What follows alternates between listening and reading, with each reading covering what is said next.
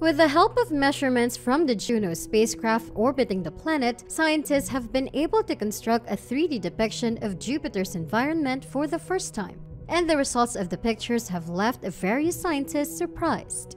The Juno spacecraft's latest discovery includes a magnetic great blue spot, Earth's oceans, and the Juno image of Jupiter's ring. Stick around to the end of this video to know all about how Elon Musk and NASA's new Jupiter discovery changes everything. For something to have been done and dismissed three years ago, NASA's Juno spacecraft has a busy schedule ahead of exploring Jupiter and its large moons.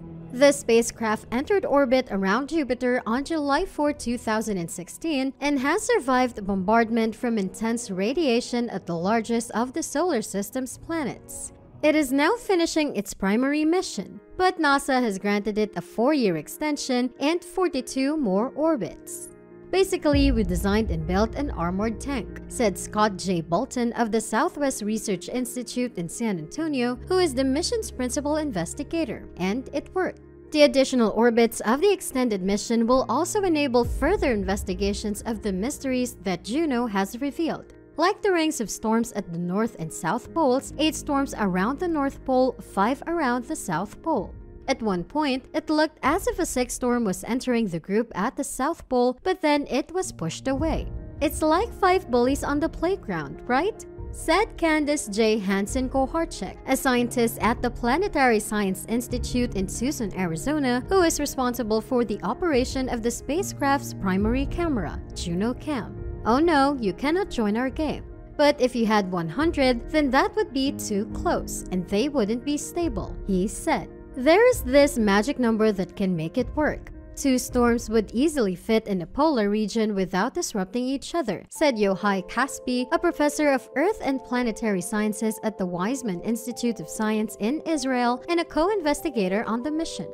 Jupiter is essentially a very big ball made up of mostly hydrogen, but it has turned out to be a complicated ball. The mission's discoveries include lightning higher up than thought possible, rings of stable storms at the north and south poles, and winds extending so deep into the interior that they might push around the planet's magnetic fields. I think this has been a revelation, said David J. Stevenson, a professor of planetary science at the California Institute of Technology and a co-investigator on the mission. Jupiter flybys have been employed in the outer photovoltaic system due to all the missions. Jupiter has essentially become the most visited of the photovoltaic system's other planets.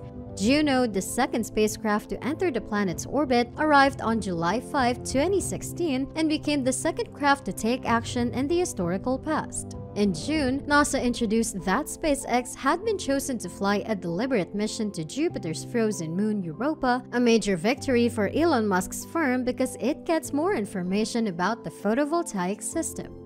Properly, that is nonetheless in movement. However, with the assistance of Juno information, the first ever 3D picture of Jupiter's environment constructed by scientists has been of more advantage than disadvantage. Microwave mild permits planetary scientists to look underneath Jupiter's colorful clouds, allowing them to comprehend the climate and local weather within the hotter, darker, deeper layers has revealed an extra. The spacecraft orbiting our photovoltaic system's largest planet has revealed an extra full view of how the planet's distinctive and colorful atmospheric options reveal information in regards to the actions occurring beneath its clouds. Since 2016, the Juno mission has been circling our photovoltaic system's largest planet, snapping pictures of its spectacular swirls. The mission has furthered understanding of the Great Red Spot, showing that the iconic giant storm, which has persisted for centuries, extends more than 200 miles deep into Jupiter's atmosphere, and it has led to the discovery of a new region scientists call the Great Blue Spot. Kimberly M. Moore, a postdoctoral researcher at Caltech, compared Juno's magnetic measurements with observations by earlier spacecraft to see how magnetic fields in the Great Blue Spot have changed over the decades. The strength of the magnetic fields within the Great Blue Spot is changing by as much as 1% per year, growing stronger in some places, weakening in others. By the end of the extended mission in 2025, Dr. Moore will have almost a decade of data to test her hypothesis, which foresees up to 10% changes during that time.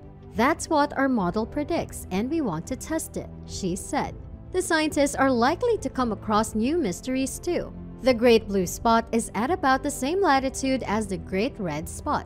The fact that they travel at different speeds suggests that maybe they're unlikely to be related, Dr. Moore said. But maybe there is some sort of causal mechanism. It is all just one fluid planet after all. According to reports, Juno will not be passing this close to Ganymede again, but it will be making flybys of two other big and very different moons. Cracks in the surface and you have a lot of lava rivers, something like that, said Alessandro Mura of the National Institute for Astrophysics in Rome, who leads Juno's infrared mapping research. Europa's ice shell is thinner than Ganymede's, so the chances are higher of finding a smooth spot where water or frozen vapor recently erupted onto the surface. We'd be looking for surface deposits that might look fresh or particularly bright, Dr. Hansen Koharcheck said. All this might not have been possible if not for that propulsion glitch. If the spacecraft had orbited Jupiter every 14 days instead of 53, Juno might have not been in a position to perform the flybys of the moons, I think it was fortuitous, Dr. Bolton said.